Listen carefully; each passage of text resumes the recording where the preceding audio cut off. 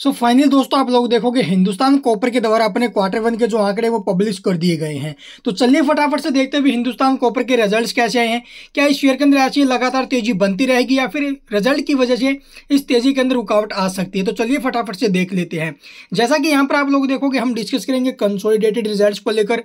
All figure in rupees crore में दे रखी है। यहाँ पर आपको क्वार्टर एंडेड और ये आपको प्रीवियस ईयर एंडेड रिज़ल्ट देखने को मिलेगा। अगर बात करें टोटल इनकम की या टोटल रिवेन्यू आप जिसको बोलोगे तो अब की बार जो टोटल इनकम हुई है वह तकरीबन तीन सौ चौरासी करोड़ तिहत्तर लाख की, जबकि प्रीवियस क्वार्टर में 611 करोड़ की इनकम थी। तो प्रीवियस क्वार्टर से तो एक बिग फॉल इनकम में बनते नज़र आए। वहीं अगर मैं बात करूँ प्रीवियस ईयर के सेम क्वार्टर से तो वहाँ पर तीन सौ उनसठ करोड़ का रिवेन्यू था तो वहाँ से भी आप लोग देखोगे इनकम में fall sorry year on year basis पर इनकम में jump quarter on quarter basis पर इनकम में एक बिग फॉल बना है। वहीं अगर बात करें एक्सपेंस को लेकर, यानी जो टोटल खर्चे हमें देखने को मिले, अब की बार जो टोटल एक्सपेंस रही हैं, वो यहाँ पर आप लोग देखोगे तीन करोड़ के।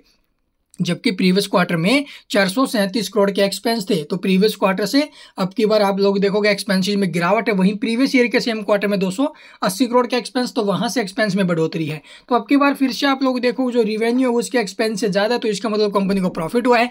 लेकिन कितना प्रॉफिट हुआ, चलिए वो देख लेते अभी। Net profit for the period अगर मैं बात करूँ तो अब की बार जो प्रॉफिट हमें देखने को मिला है तो यहाँ पर आप लोग देखोगे जो नेट प्रॉफिट आफ्टर टैक्स हमें देखने को मिला है, इस क्वार्टर के दौरान वह 47 करोड़ का। जी हाँ सैंतालीस करोड़ 28 लाख का प्रॉफिट है, जबकि प्रीवियस क्वार्टर में 132 करोड़ का प्रॉफिट वहीं प्रीवियस ईयर के सेम क्वार्टर में सत्तावन करोड़ का प्रॉफिट तो क्वार्टर वन क्वार्टर बेसिस पर प्रॉफिट में बिग डिक्लाइन वहीं प्रीवियस ईयर के सेम क्वार्टर से कंपेयर करें तो वहाँ से भी आप लोग देखोगे प्रॉफिट में बिग डिक्लाइन हमें देखने को मिली है। तो रिज़ल्ट आप लोग देखोगे बिल्कुल खराब आते नज़र आए हैं, जिसका इफ़ेक्ट आपको नेक्स्ट ट्रेडिंग सेशन में यानी कल तो मार्केट बंद है। सोलह तारीख को स्टॉक के ऊपर देखने को मिलेगा। इस शेयर के अंदर एक बिग फॉल बन सकता है।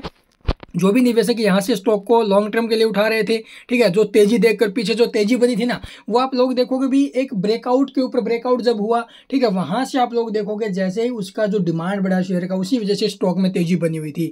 ईपीएस की बात करें अर्निंग पर शेयर की तो अब की बार रहे उनचास पैसे प्रीवियस में एक रुपये सैंतीस पैसे, वही प्रीवियस ईयर के सेम क्वार्टर में उनसठ पैसे।